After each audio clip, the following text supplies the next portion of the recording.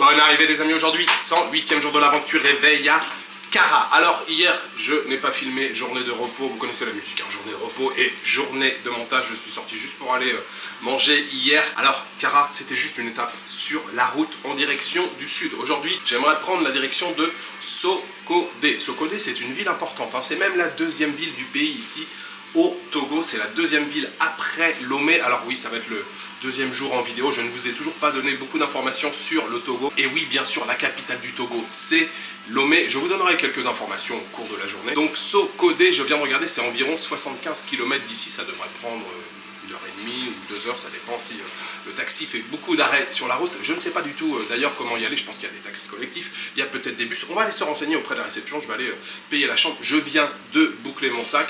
Je n'ai plus qu'à le mettre sur le dos et nous pourrons prendre donc la direction de Sokodé.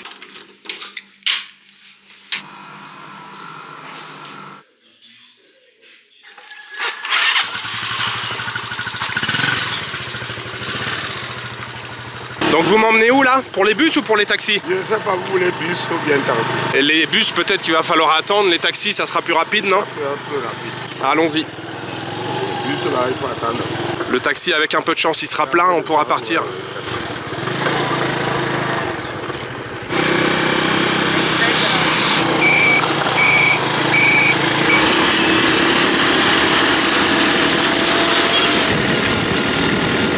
Je viens d'arriver à la gare routière de Cara. Alors lui il prend la direction de Lomé, mais Sokodé c'est sur la route de Lomé. Donc je vais pouvoir monter dans ce véhicule, 2500 francs CFA. Il manque encore, euh, je crois, 3 personnes. Donc on devrait normalement partir bientôt. On est chargé comme il faut sur le dessus, on devrait être chargé comme il faut à l'intérieur. Voilà, c'est parti direction Sokodé. Allez, les loups.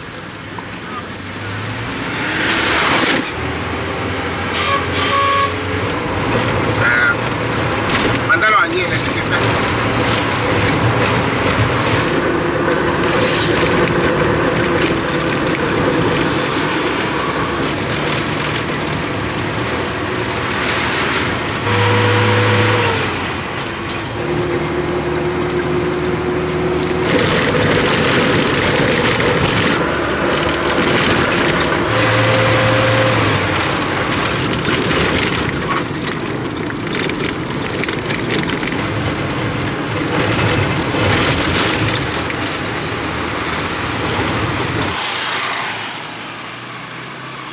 Bienvenue à Sokodé. Je viens de laisser mon véhicule partir. Vu le nombre d'arrêts qu'on a fait sur la route, vu comment ils sont chargés, je peux vous dire qu'ils sont pas arrivés à Lomé. hein.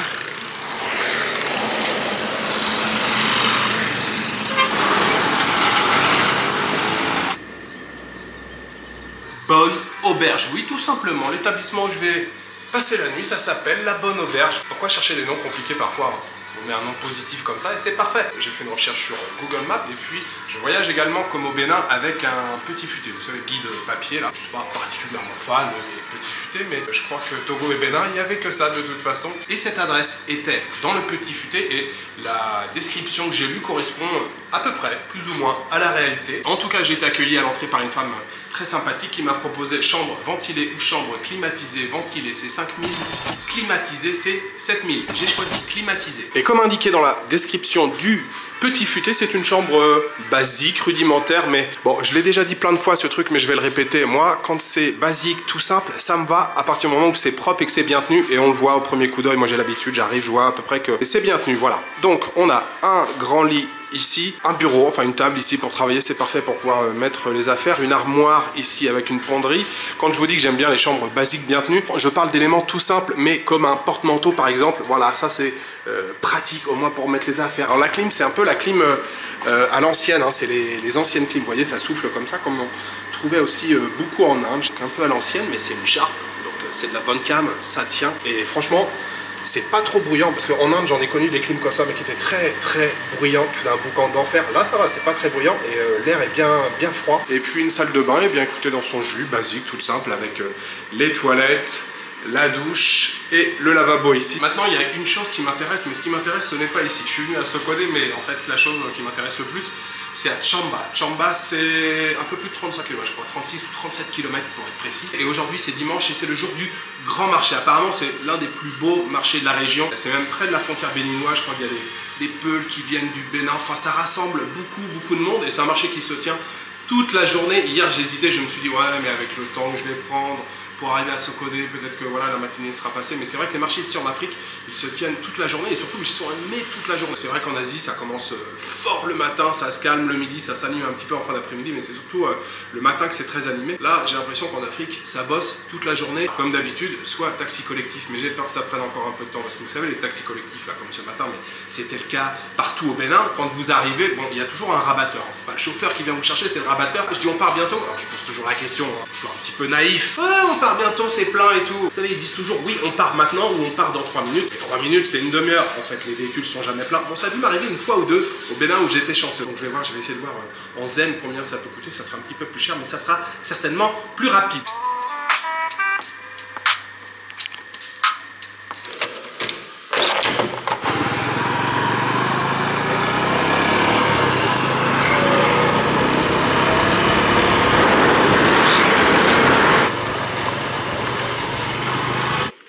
Tu es en ligne Oui, oui, je suis, ouais. Donne-moi la vie de Gozen. Je fais juste l'aller, hein, je fais pas le retour.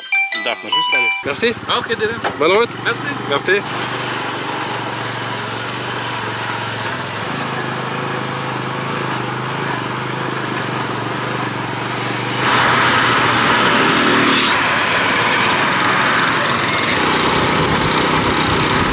Vous, vous prenez de l'essence, moi je prends à boire. Bonjour madame. Ah bah il y a du choix. C'est quoi ça Bon, il y a du sucre partout. Ça c'est quoi Energy drink Énergie. Non, bah, je vais prendre Wal Cola. Ça c'est bien. Oui, c'est ça, c'est ça. Alors, nous sommes sur la route avec mon chauffeur. Alors au départ, c'est une autre personne qui est venue me chercher parce qu'ils m'ont expliqué qu'aujourd'hui c'était dimanche, qu'il fallait appeler le service pour pouvoir sortir parce que euh, l'application Gozem, normalement là c'est que dans la ville. C'est pour la sécurité, hein. c'est bien, c'est positif. Il a appelé pour dire je sors, je vais à Chamba parce que je vous l'ai dit c'est 36 ou 37 km d'ici et puis on est juste à la sortie de la ville. Le monsieur devait acheter de l'essence et puis euh, du crédit je crois pour son téléphone. Une minute, je termine et puis on y va. D'accord, d'accord, chef.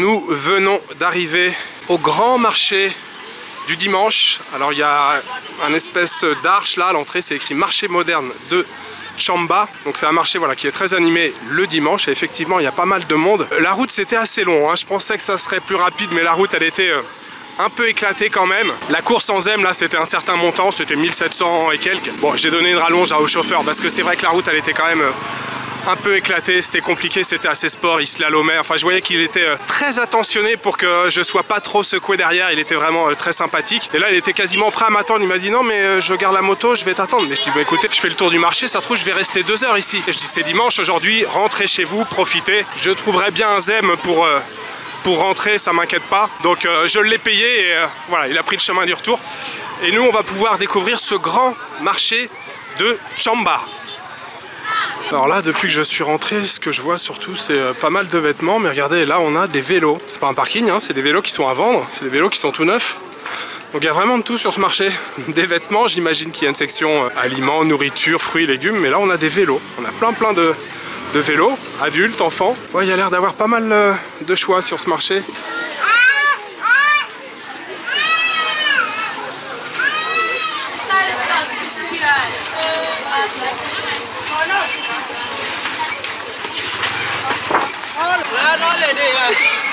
J'ai retrouvé un produit qui ressemble à l'akpan, mais c'est pas akpan, ça s'appelle dégué. C'est un genre de yaourt. C'est fait à base de maïs ou pas? C'est fait à base du lait. juste du lait. Et du lait quoi? Du lait de vache? Là. Bon, c'est un genre de yaourt fait à base de lait, donc ça, ça paraît euh, normal jusque-là. Et après, on peut mélanger avec plusieurs choses. Moi, je vais prendre avec du sucre. Et il y a du lait concentré aussi? Non? Il n'y a pas le lait concentré. Il y a quoi? Ça, c'est quoi? Petit. C'est quoi Petit mille. Petit mille. Je connais pas. Et ça, c'est quoi Ce moule. Couscous. D'accord. Vous pouvez mélanger avec euh, petit mille Un peu de sucre et de la glace. Petit mille. Bon, ça doit être une céréale, j'imagine. Euh, le sucre, c'est bon, c'est assez. Un peu de glace. Et là, il y a une dose déjà préparée. C'est la même chose, non C'est une portion qui est déjà préparée. De 200, d'accord. Merci beaucoup. Premier dégué au Togo sur le marché de Chamba. Alors, il faut penser à bien mélanger. Bien sûr, c'est comme la pan, c'est pareil. Petit mille, on mélange avec le yaourt, le sucre et la glace. C'est bon Ouais, c'est bon. Déjà, la première chose, c'est que c'est bien frais avec la glace, ça fait vraiment du bien parce qu'il fait encore aujourd'hui très chaud. Le goût, ça se rapproche du yaourt euh, nature comme on pourrait avoir en France, euh, avec du sucre bien sûr. Le goût est légèrement différent de l'actan glacé que j'avais goûté au Bénin. On se rapproche du yaourt nature simplement où on met du sucre avec. Et après, évidemment, on trouve les, les petits morceaux, les grumeaux de petits mille. Ça apporte un petit peu de consistance à l'intérieur, c'est pas mal. Le premier dégué au Togo, c'est validé.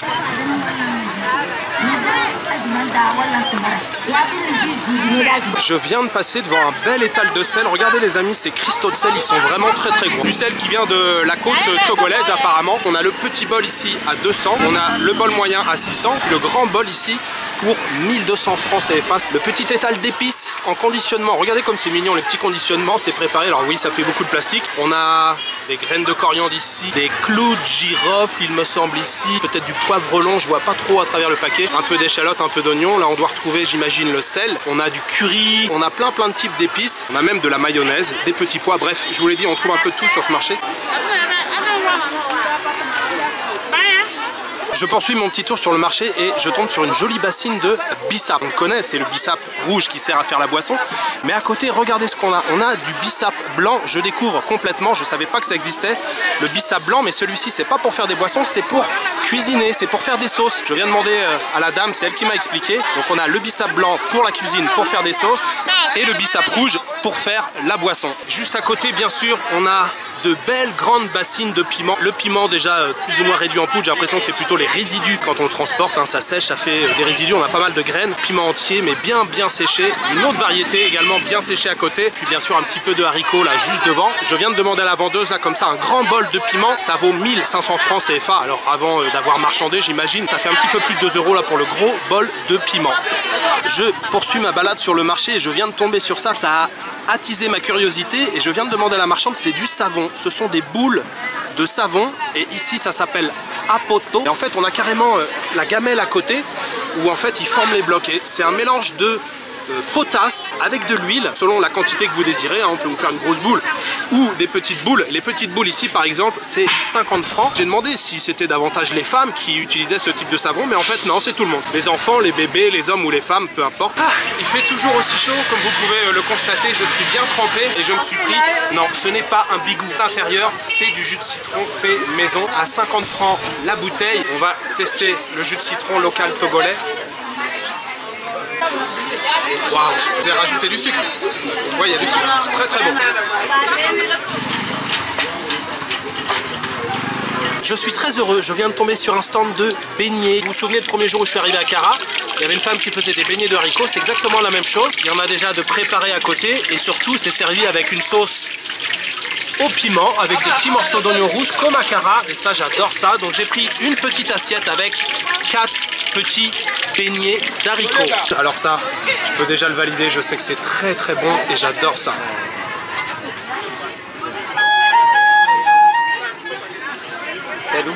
c'est très bon J'adore la texture en fait à l'intérieur. Ça fait une petite croûte à l'extérieur qui est un peu croustillante. Et l'intérieur c'est tout moelleux avec la sauce, la pimentée à côté. Ça, c'est vraiment quelque chose de tout simple. hein. Il n'y a rien de compliqué. On fait des petites boules de pâte, on met ça dans l'huile, c'est tout simple. Ça, c'est bio.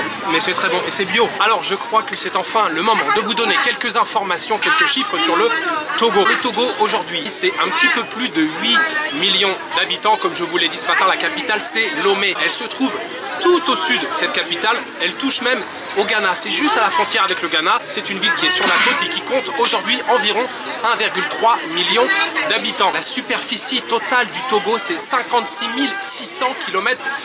Pour vous donner une idée, c'est 9,6 fois plus petit que la France métropolitaine. Donc ça représente à peu près un dixième de la France métropolitaine en superficie. Donc la deuxième ville du pays, je vous l'ai dit ce matin également, c'est Sokodé, c'est où je vais passer la nuit ce soir. Et la langue officielle, c'est le français, mais on a également deux langues nationales, plus plein d'autres langues locales. Les deux langues nationales, c'est le Ewe et le Kabylie. Alors le Kabylie est davantage parlé dans le nord, le Ewe est davantage parlé dans le sud. Et j'ai changé un petit peu avec la marchande de beignets et elle me disait que ici, ils parlaient même une langue locale qui s'appelle le Chamba, oui, qui porte le nom du village, le nom de la région. Je suis dans le village de Chamba. Les habitants entre eux, quand ils veulent bavarder un petit peu, ils vont parler en Chamba. Voilà pour les quelques petites informations sur le Togo. Vous en faites combien toute la journée comme ça Vous en faites plein, hein Vous en On faites fait plein ici. Chou. Il a bien dit sa copine. Si au Togo vous appelez ça Chukutu. Chukutu, oui, c'est comme au Bénin, c'est le même nom, Chukutu. Donnez à, à mon ami. Voilà. C'est la bière locale. Vous m'attendez, hein, on, va, on va boire ensemble, vous m'attendez. Hein. D'accord. Oui, j'ai vu qu'il y avait un petit stand de la bière locale du Tchouk, servi dans des calebasses, bien sûr, les contenants traditionnels. Et c'est des grandes bolées, hein, c'est quand même des grands verres. Et c'est 100 francs CFA le verre. Merci madame. Un bon verre, ou plutôt une bonne calebasse de Tchouk. Madame, la vôtre. Santé On boit pas cul sec, hein On boit tout doucement, hein Très bon. On sent que c'est un petit peu en fermentation. Et c'est des toutes, toutes, toutes petites bulles. C'est très agréable. Ça se boit tout seul. C'est à température, euh, température ambiante. C'est ça, hein, c'est fait à base de mil. Hein. Ouais, ouais, la céréale, le mil. C'est un peu chaud. Mais en même temps, ça fait du bien de boire chaud parce que ça met le corps à la même température que l'extérieur. Ça permet de moins transpirer, ça fait du bien. Il y a une jeune fille juste à côté de moi, elle vend des piments guinéens. Oui, j'ai demandé si c'était pour faire la cuisine. Ils m'ont dit non, non, c'est pas pour faire la cuisine, c'est pas pour les cosmétiques, c'est pour faire des recettes. C'est les marabouts, vous savez, qui font des, des préparations traditionnelles, des choses comme ça.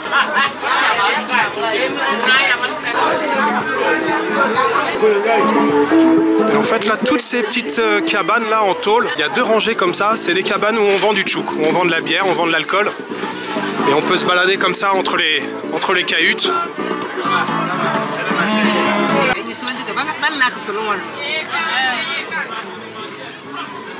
Et là c'est des petites portions, euh, Oui, c'est la même chose. c'est la même chose, mais en Eh ouais, petite tu me la quantité. Déjà coupé.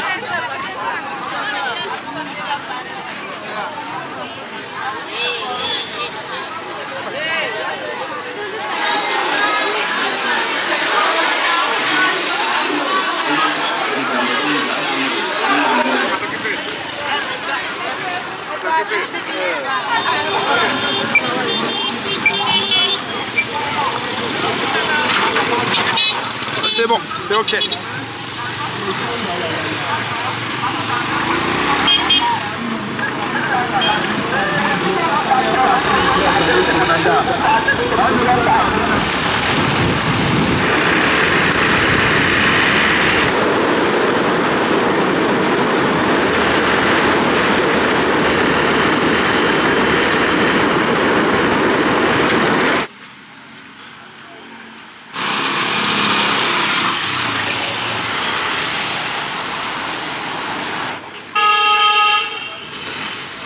Le retour a été plus rapide que l'aller.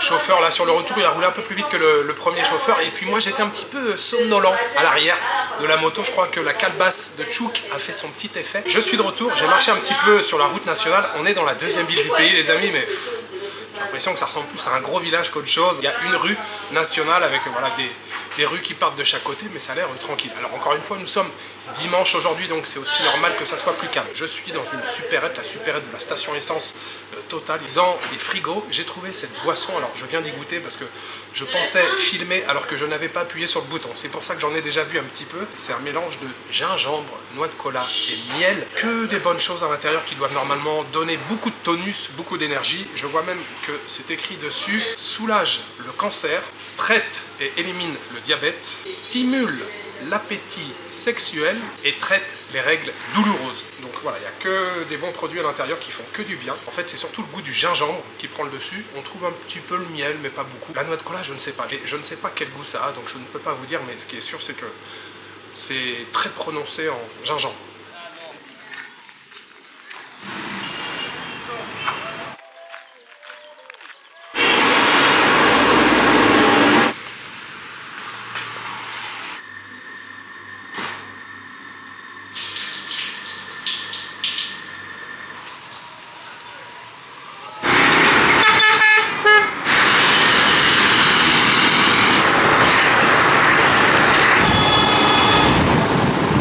Après une bien méritée, et surtout pris une douche, j'ai bouffé la poussière pour aller à Chamba à l'aller et au retour. Et je suis maintenant dans le quartier euh, administratif, on va dire, de la ville de Sokodé. Je suis venu ici pour une raison bien particulière. J'ai rencontré un monsieur là avec qui j'ai bavardé un petit peu. Il m'a dit tous les bâtiments que tu vois ici, ils datent de la même époque. En fait, ils datent de l'époque coloniale, mais pas coloniale française. On aurait tendance à l'oublier, mais en fait, ici avant, c'était le Togoland. Oui, c'était un protectorat allemand. La définition était un peu différente. C'était mieux de dire protectorat que colonie, mais oui, ça a été une colonie allemande ici de 1894 à 1916. Le Togoland, ça correspondait à une partie donc du Togo actuel, mais aussi une petite partie du Ghana. Oui, tous ces bâtiments autour, ils datent de l'époque coloniale On l'oublie, hein, mais les Allemands ont eu aussi des colonies. Alors, dans une moindre mesure que la France, l'Angleterre, l'Espagne ou encore le Portugal, mais les Allemands ont eu aussi euh, quelques colonies, et notamment en Afrique. Donc on a la préfecture qui est là sur le côté, on va euh, s'approcher, faire un petit tour. On a un bâtiment, derrière il y a écrit campement, mais ça a été repeint par-dessus, mais on arrive à lire qu'il y avait écrit euh, campement. Et en fait, c'est là que j'ai rencontré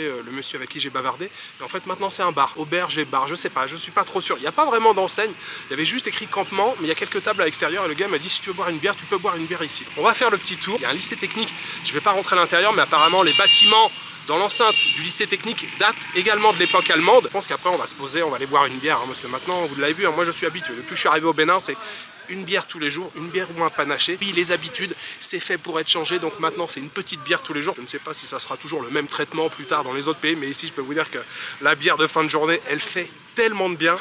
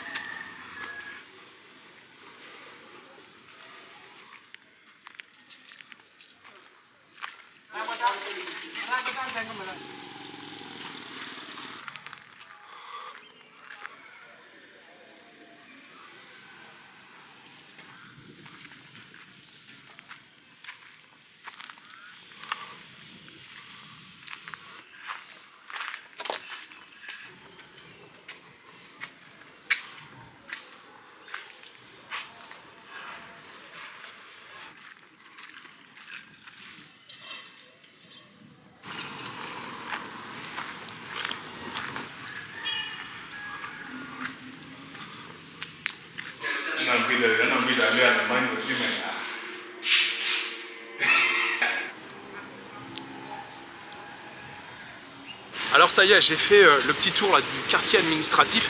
Il y a le vent qui est en train de se lever, il y a des nuages qui sont hyper gris ici. Je sais pas s'il y a de l'eau qui va tomber, ça fait du bien. hein. Ça fait du bien et franchement je suis pas contre quelques gouttes, au contraire. Donc ouais, j'ai fait le tour, les bâtiments, donc euh, préfecture, ici là le campement, des, bâtiments euh, dans un style euh, architectural assez basique. Il y a une maison là-bas, alors je sais pas ce que c'était avant, je sais pas s'il y a quelque chose maintenant, mais il y a un bâtiment, une maison qui est juste en face là, que j'ai filmé tout à l'heure, avec un style un peu plus élaboré, qui est assez joli d'ailleurs. Donc oui, voilà, tout ça, ça a été construit par les Allemands à l'époque du Togoland. Justement, je suis revenu là au campement, le gars que j'ai rencontré, il est très sympathique. En fait, il n'y a aucune pancarte.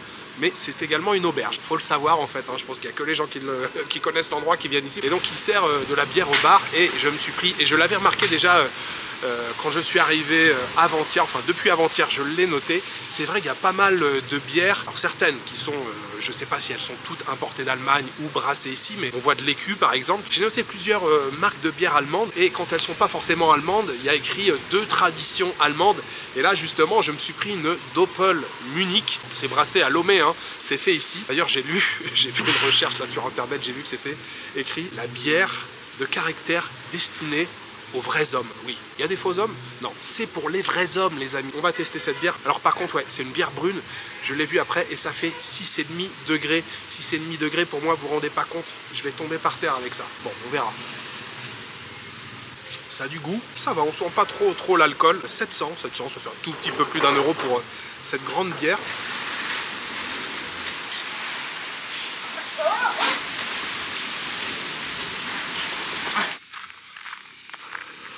Je vais vous guider, hein, je vais regarder sur le téléphone, je vais vous dire.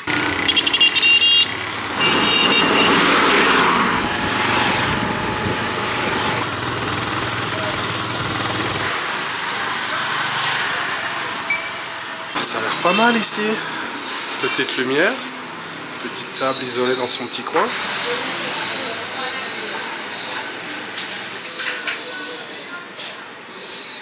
C'est enfin l'heure du dîner les amis. J'ai fait une petite recherche rapide sur Google Maps. J'ai trouvé une adresse qui s'appelle Restaurant La Paix. L'un des mieux notés, si ce n'est le mieux noté ici à Sokodé. Je viens juste d'être euh, servi. Ça prend un petit peu de temps comme au Bénin. Ça prend du temps mais à chaque fois c'est plutôt bon signe. Une salade d'avocats avec quelques morceaux de tomates et d'oignons. Vous savez à quel point j'aime les avocats et les avocats ici sont très très bons. C'est maintenant l'heure du plat de résistance. Et j'ai pris donc riz gras, riz euh, rouge avec un petit peu d'épices, on a des oignons, on a des tomates, on a des morceaux de poivron je pense. Et puis deux brochettes de viande de bœuf, encore une fois euh, servi de façon euh, généreuse. En fait quand j'ai vu arriver la salade je me suis dit waouh c'est une bonne assiette, est-ce que je vais encore avoir faim? Ça m'a bien calé, en plus l'avocat ça, ça remplit bien l'estomac. Mais là maintenant j'ai encore une grosse assiette devant moi. Mais ça va, j'ai encore un peu de place.